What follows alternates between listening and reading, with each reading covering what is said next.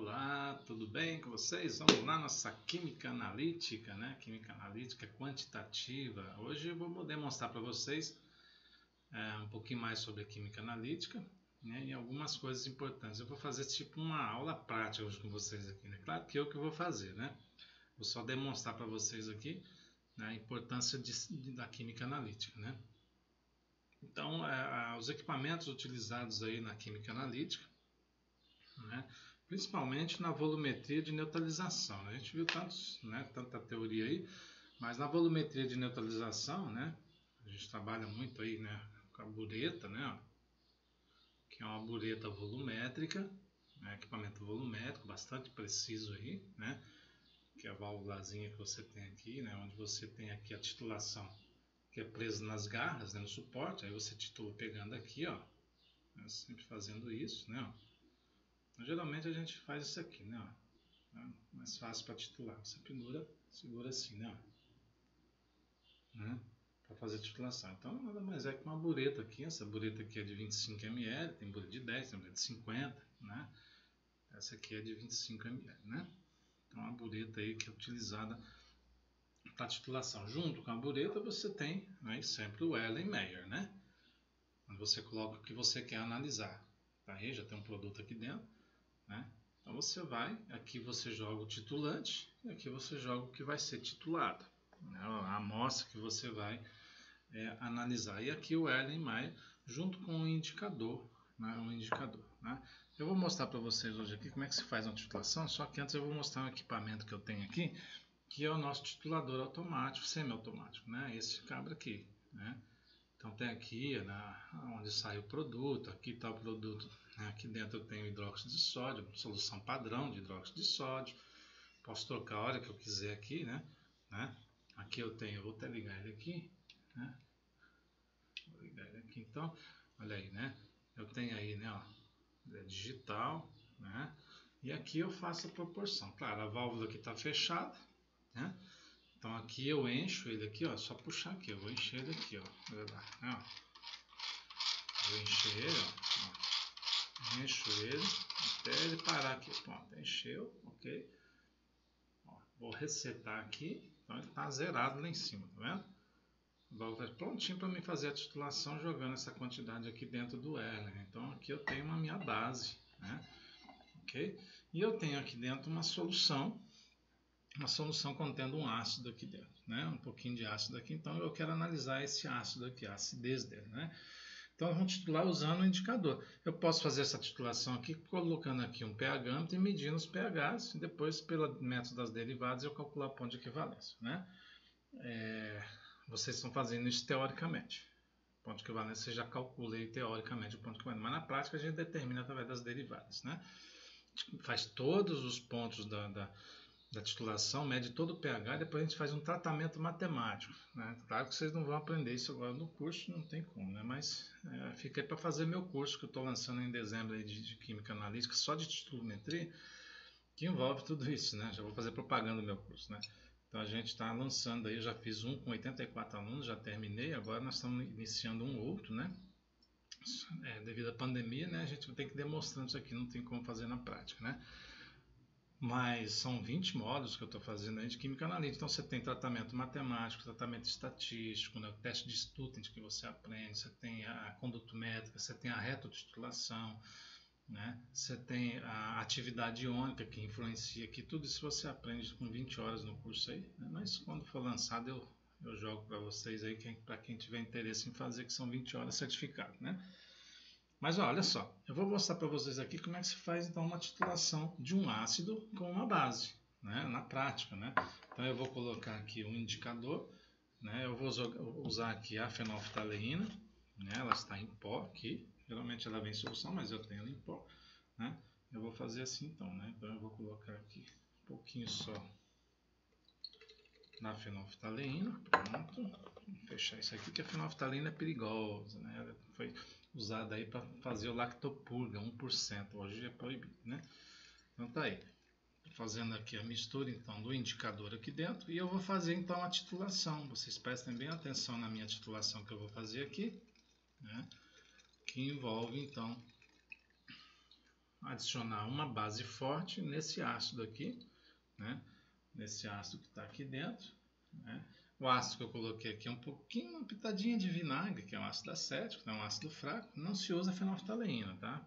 Para vinagre, eu uso laranjada de metila, mas como eu não tenho esse indicador aqui, a gente vai usar fenolftaleína só para você ver como é que se faz a titulação. Então eu vou abrir a válvula aqui, né?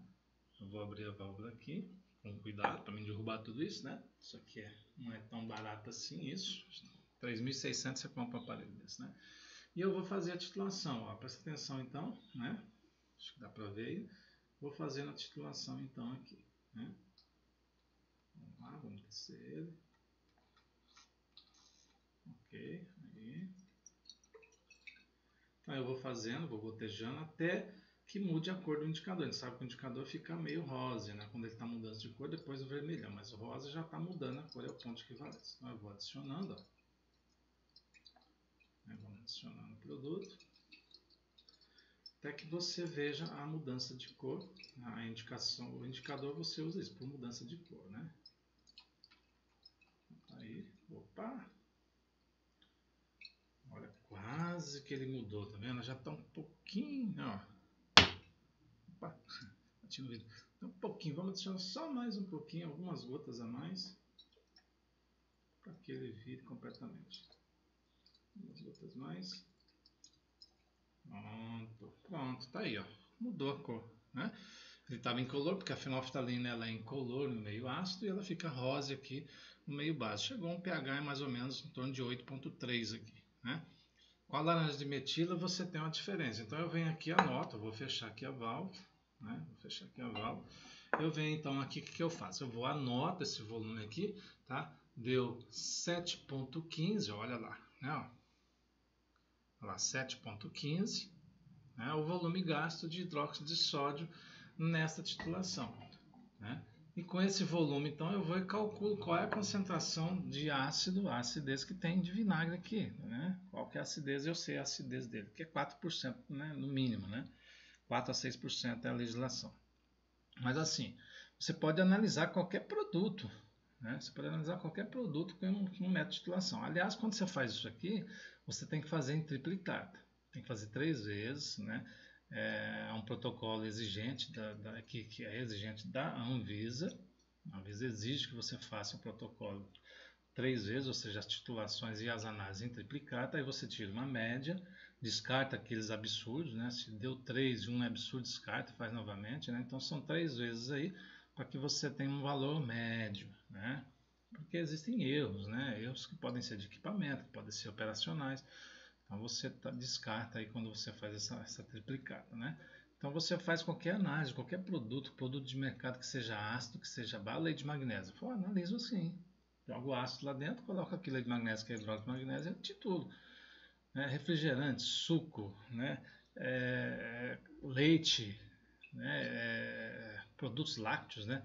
É, fármacos, é, paracetamol, a, a aspirina, tudo né, que tiver composição ácida e básica, eu consigo determinar o doseamento, consigo determinar o princípio ativo, consigo determinar quanto que é a acidez, quanto que é a basicidade, né, utilizando então a titulação com esse equipamento aí. Então é um equipamento bem simples, claro que esse equipamento que eu tenho aqui, ele não é barato, né, mas muito útil, né? Tá? Muito útil porque a volumetria, o custo é baixo. Depois que você tem equipamento, você gasta muito pouco. Para fazer uma solução de hidróxido de sódio aqui, você gasta muito pouquinho de hidróxido de sódio. É 4 gramas para fazer um litro. Então você gasta muito pouco né, produto para fazer uma solução. E quantas análises você pode fazer? Eu gastei 7 ml, dá para fazer quantas análises um litro de, de, né, utilizando essa, essa metodologia aqui. Né? Então é o que a gente, o que a gente tem aí né, no método de titulação. Né? Então é bastante interessante isso, né? Tá aqui um desenho para vocês aí mostrando aqui então o Erling aqui embaixo, né? E a titulação feita com uma bureta, né? Diferente desse aqui, né? Então tá aqui a bureta, né? Titulando aqui, aqui eu coloco um indicador, né? E eu vou agitando isso aqui com Erling, né? Fazendo então a titulação, né? Isso aqui é titulometria, né? Isso aqui é titulometria. Titulometria. Né? A titulometria nada mais é que esse equipamento que você está vendo aqui. Né? Alguns livros traz lá é, volumetria. Né? volumetria, a gente fala volumetria de neutralização.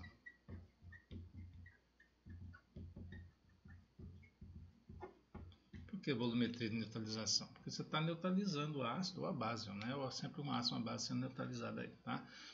Essa é uma volumetria. Claro, existe na titulometria, né, existe titulometria de precipitação, volumetria de precipitação, né, volumetria de complexação. Então, existem vários tipos da, da, que, que trata esse mesmo tipo de equipamento na titulometria. Né? É, complexação, por exemplo, você analisa a água, dureza da água por complexo, o EDTA, né? você usa o EDTA como agente complexante. Né? O indicador Murexida, Murexida e o indicador heliocromo T, heliocromo T que são específicos para análise de água. Né? Então, mas é uma titulação de complexometria, que você usa o EDTA, que é um complexo aí de sal sódico, etileno diamino tetracético, é um sal complexo que reage aí com as durezas, que o hidróxido de magnésio, é, carbonato de magnésio, carbonato de, de, de sódio, né?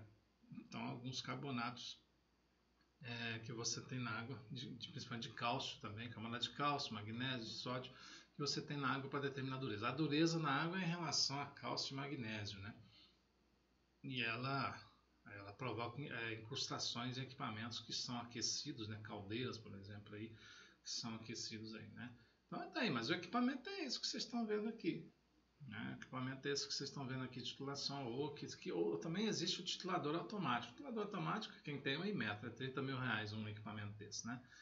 Você coloca lá o produto, a ser analisado, o titulante no equipamento, você ajusta o pH do ponto de equivalência, teoricamente, ah, o pH é 4.6, então você ajusta 4.6 e você vai lá e determina então é, e põe para o equipamento titular, ele vai fazer a titulação até esse pH e ver quanto gasta então, até quando der esse pH. Então quando chegar nesse pH ele para e anota, então ele te mostra o volume gasto, você faz os cálculos. Muitas vezes ele até faz os cálculos para você, já te traz a concentração, já gráfico, tudo isso aqui, né? Claro que uma titulação dessa aqui, né, é uma titulação bem simples de fazer com seus indicadores, o erro tem um certo erro, né, por causa da mudança de cor. Existem alguns indicadores que falam assim, mudou, não mudou, mudou, não mudou. A laranja de metilha é assim, né, que ele é amarelo, laranja e vermelho, né.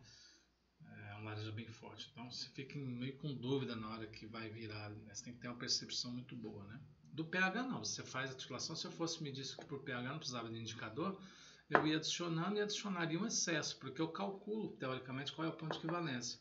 Quando você calcula que o meu ponto de equivalência é 7 ml, você adiciona 14, por exemplo, vem aqui adicionando, pai vai medindo o pH, né? 1, 2, 3, 4, 5, 6, 7, 8, 9, 10, 11, 14, e vai determinando os pHs e monta a sua curva. Através da curva você pode determinar então qual é o valor do, né, do ponto de equivalência, onde é que mudou realmente, ou através das derivadas, cálculos derivados, que é um tratamento matemático que leva mais tempo, né, para vocês aprenderem isso que não está não tá no curso, né? Mas o tratamento, tratamento da derivada primeira, derivada segunda, né, e na condutometria também pode fazer. Eu poderia colocar aqui um eletrodo aqui condutométrico, mergulho aqui um eletrodo, né? e eu meço a condutometria. Com a condutometria e regressão linear, que é um tratamento matemático também, a gente consegue determinar o ponto de equivalência. Tá? Professor, mas por que tudo isso? Por que esse tratamento matemático? Por que, que tem que ser tudo isso tal? Então, quando você vai fazer uma análise, a sugestão minha é fazer o quê? Quando você vai fazer uma análise de produto, você faça usando o indicador triplicata, você faça usando o pHmetro e você faça usando a condutométrica. Porque geralmente um pH ele já vem junto com a condutometria, um equipamento, né? E não é, não é tão, tão, tão caro assim, né? O que, que você faz? Aí você vai, ser, você vai ter três resultados. Um feito com indicador, o outro feito com pHmetro, um feito com indicador, outro feito com pH e o outro feito com condutometria. Esse é o símbolo da condutometria, né? Então você vai ter valores aqui. Então você vai ter que valor de uma análise, uma análise aqui, uma análise aqui, uma análise aqui, né? E com o tratamento estatístico, com o tratamento estatístico, você faz o que? Você faz o teste? Um teste T. O que é esse teste T? É o teste de student. Um teste estatístico, né? Não sei se vocês viram isso em estatística, mas é um, é um teste estatístico. Bom, eu ensino, né? teste de estudo para os alunos quando eu dou estatística, né? Mas é um teste estatístico que vai demonstrar para você aí, né, que vai demonstrar para você a validade desses dados, o quanto eles se desviam do valor real, né? Quanto se desviam um do outro. Então esse teste ele mostra para você se você pode ou não recusar uma amostra de mercado, uma matéria-prima. Então, por exemplo, eu estou analisando um vinagre aqui, aí eu determino lá, olha, eu determinei o vinagre aqui que, que o teor dele é de 3.8, determinei que é 3.9 e aqui eu determinei que é 4.1. E a, e a legislação fala que é de 4 a 6, né? Eu tenho três valores interplicados aqui, eu tenho três valores, três valores. Eu faço o teste estatístico disso aqui e o teste estatístico me mostra uma faixa de aceitabilidade, uma faixa de 1 que vai até 2, né? uma faixa de x1, x2 aqui, que pode ser que esse número aqui, 3.8, esteja dentro dessa faixa. Porque a média aqui não vai dar, né? a média aqui vai dar 3.9 alguma coisa, não chega a 0.4. Aí você vai recusar? Não. Se os três valores aqui estão dentro da faixa do teste estatístico, se esses três aqui estiver dentro dessa faixa aqui, você não pode recusar a amostra. Né? O teste está mostrando que ela é aceitável no mercado, então existe aí um padrão para isso. Então você não pode mandar para a empresa e falar assim, ah, seu produto está fora do padrão. Não porque o seu teste estatístico está mostrando que ele está dentro da conformidade com o teste, né? e a tendência é, é, ela está dentro dos padrões por causa desse 4.1 aqui. Né? Então, olha só a diferença que você tem aí. Né? Agora, ao fazer o teste, você verificar que, que, né, que, que a, sua, a sua média aqui, ó, a sua média dos três aqui está fora desse, desse intervalo, né? ou está maior ou está menor, aí sim você pode fazer um relatório demonstrar para a empresa que você fez três tipos de titulações, os três tipos deu fora do padrão e que o teste estatístico mostra que realmente ele está fora do nível né, de, aceita de aceitabilidade, né, é a faixa de aceitabilidade que o método estatístico nos dá, e você pode então escrever para a empresa e falar assim, olha, tira o seu produto do mercado porque ele está fora do padrão. Está aqui o que está escrito. Ou você pode falar assim, ó, não aceita a sua matéria-prima porque ele está fora. A pessoa fala, mas como você fez? Eu fiz isso, isso, isso. Não tem como ela indagar, né? Então, os testes estatísticos são muito importantes, né? São muito importantes. E principalmente você fazer os três tipos de análise quando você for fazer. Você se basear apenas em um tipo de análise fica mais complicado. Você pode até fazer um teste estatístico aqui, mas a confiabilidade nos resultados, tá? Ou, ou, se você partir até para a parte jurídica nisso, se você for tirar um produto de mercado ou, ou ele afetou no produto que você está produzindo, né, é, não te dá tanta credibilidade. Não é, não, não é que não acredita, no, no, você teria que ter mais parâmetros para justamente para justamente tu colocar que aquele produto ele não está de acordo com a conformidade, como dita a, a Anvisa na monografia do produto, né? Porque a Anvisa tem a monografia de cada fármaco, de cada produto de mercado Anvisa, o Ministério da Agricultura, que trata de alimentos e tudo isso mais, né? Então a gente, a gente tem que fazer esses testes. Ah, por exemplo, você vai fazer uma análise de produto de mercado que tem um corante e tem um limite desse corante que tem que ter um limite desse corante. Pô, você tem que fazer vários testes, né? Para demonstrar que realmente aquele corante está em excesso ou está em, tá em quantidade mínima, não sei, né? Então, assim, você a confiabilidade depende desses testes todos aí, né? Então, essa técnica de você utilizar aqui, essa técnica de você utilizar né, a titulometria, isso que vocês estão vendo aqui é um método bastante simples, barato, confiável, desde que você prepare uma solução, né, uma solução padronizada de confiança, desde que você faça todos esses cálculos aqui e prepare uma solução né, confiável, determine o fator, né, ah, determine aqui o fator de correção em triplicata também. A gente tem que preparar a solução padrão e determinar o fator de correção. Então, sempre lá no rótulo você vai ter lá a ah, solução de NaOH, solução de NaOH. Aí você vai escrever lá 0.1 normal, a solução que você preparou. Aí tem lá fator de correção igual a 0.9971, por exemplo, né? Quanto mais próximo de 1, melhor a sua solução foi feita em relação à concentração que você colocou, porque quando você pesou 4 gramas de NaOH e preparou 1 litro de solução, você está considerando essas 4 gramas de NaOH, não está considerando as impurezas. Ou os erros que você tem na hora de preparar, na hora de dissolver, perda, tudo mais, tá? Quanto menos perda e menos é, e melhor for a sua solução PA, né, pronto para puro para análise, produto puro, mais próximo de 1 você vai ter. Se você chegar no valor mais próximo de 1, que significa que você preparou uma boa solução, você aproveitou o máximo de hidróxido de sódio que está, o hidróxido de sódio está quase puro. Agora, se você faz um fator de correção lá, um fator de correção, ah, o meu fator de correção deu 0,82. Significa o quê? Que o seu NaOH pode não estar puro. Ah, mas eu, aí eu não posso usar? Pode, porque você está corrigindo ela. Então, todas as suas contas você vai levar em consideração 0,1 vezes isso. Na verdade, a concentração não é 0,1, é 0,082. A concentração real da solução que você preparou. Essa solução aqui ela não é 0,1, ela é 0,09971 real dela. Por isso que o fator de correção serve. Quer dizer que você vai jogar fora? Não, você pode usar, mas desde que você nas suas contas você acrescente o fator de correção, é, o fator de correção dessa base, tá? Então é importantíssimo isso, importantíssimo você é, você preparar uma solução padrão e fazer uma solução padrão utilizando equipamentos corretos, né? Aqui está o balão volumétrico, né? É, o balão volumétrico você prepara essa solução.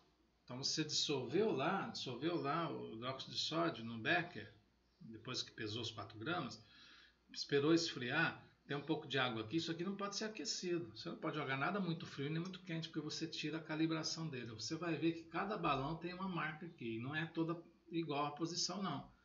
Porque lá na fábrica eles fabricam esse balão, jogam um litro de água certinho aqui, né, a 25 graus na pressão atmosférica e riscam aqui. Você vai ver que cada balão desse é diferente aqui né? Porque eles não vão acertar exatamente aqui o volume disso aqui, né? Então eles ficam marcando. E aqui você tem que olhar assim o menisco, né? Lembra lá que o menisco, né? O menisco a gente olha assim, tá aqui, né? Tá aqui o balão, a boca do balão aqui. Aí o volume parou aqui de água, ó, parou aqui assim, ó, que fez aquela auréola lá, né? Aquele, né? O menisco é isso aqui. Você tem que olhar aqui, ó, onde está aqui no, embaixo, ó onde está na curva embaixo. Você tem que olhar aqui na horizontal. Nunca você olhe volumes a serem medidos assim, nem assim. Você tem que olhar na horizontal, onde ele parou na parábola, bem no, o que? No, no vértice da parábola aqui, daquele menisco que foi feito. Né? Por causa da aderência das paredes, ele faz isso aqui. Então é ali que você tem que olhar. Né? Para medir o volume certinho. Aí depois que você jogou o hidróxido aqui, você completa até 1000 ml. Você não vai colocar 1000 ml de água aqui e jogar a solução, não. Você joga aqui 100 ml de água, joga o hidróxido, lava três vezes o becker para tirar todo o resíduo de hidróxido sódio que está lá, o máximo possível 3, 4, 5 vezes, né, o que você achar melhor. Transfere aqui para dentro, completa até 1000, até o menisco certinho aqui, tampa e você vai homogeneizar. Você vai fazer isso aqui, ó, por 10, 15 vezes. Pá, pá, pá, pá. Tu faz isso, você está homogeneizando a solução, preparando então uma solução adequada para uso. Feito isso, você vai transferir e armazenar isso aqui com o rótulo e a data, né, certinho o seu nome. Né? Muito bem, transferir para onde? Se é uma solução básica, você transfere, transfere para um, um, equipamento, um, um, frasco de polietileno, como esse daqui. Né? Branco, opaco aqui para que não passe muita luz. Né? Se é ácido, você vai transferir para um vidro âmbar, né? não tem nenhum vidro âmbar aqui, né? mas um vidro âmbar, né? um frasco âmbar, que você transfere para não ter interferência da luz em nenhuma das soluções. Né? O plástico de polietileno branco, opaco, e o, o ácido num frasco âmbar, né, de vidro, rotulado, bonitinho, guarda essa solução aí que é válida para muito tempo aí, né? Seis meses de uso, tranquilamente você pode usar essa solução. Ela não é volátil, não é nada, né? Ok? Então você pode fazer as suas titulações aí, né? Transferiu para aqui, ó, eu, eu, eu, geralmente eu tenho dois frascos desse aqui, ó, né? Um eu coloco só o ácido e o outro eu coloco só a base. Esse aqui só a base. Quando eu quero trabalhar com ácido aqui, eu tiro isso aqui, né? lavo todo o equipamento aqui, enxago bem com água destilada, depois coloco a solução, enxago com a própria solução, aí eu posso usar, né? Então eu vou utilizando aí, uh, utilizando aí essas soluções para as minhas, as minhas análises, né? as análises as análises de química e de produto. Né?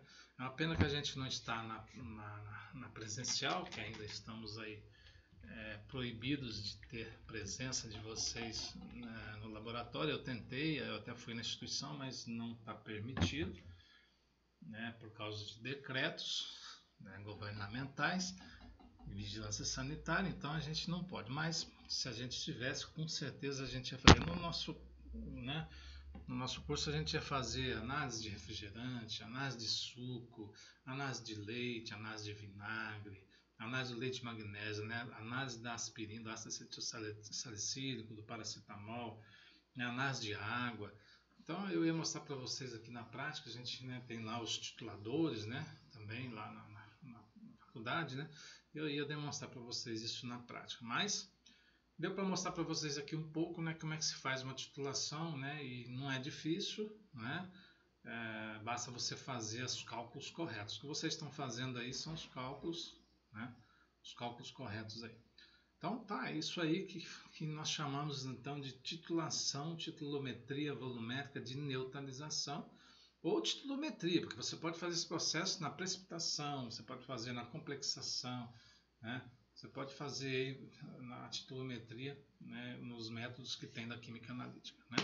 Ok? Então é isso que eu queria demonstrar para vocês. Vocês estão fazendo essa tabela né, que eu passei para vocês, que é a parte teórica, né? que, que são quatro titulações aí que eu pedi para vocês fazerem. Então, mãos à obra aí, né? Mãos à obra aí. Qualquer dúvida na titulação tá aí demonstrando para vocês. Demonstra, procurei demonstrar para vocês que é uma titulação, né? Se eu jogar ácido aqui dentro, ele volta sem color de novo, né? Então tá aí. Valeu. Até a próxima com vocês, né? Até a próxima aí com vocês então. Valeu. Um abraço a todos.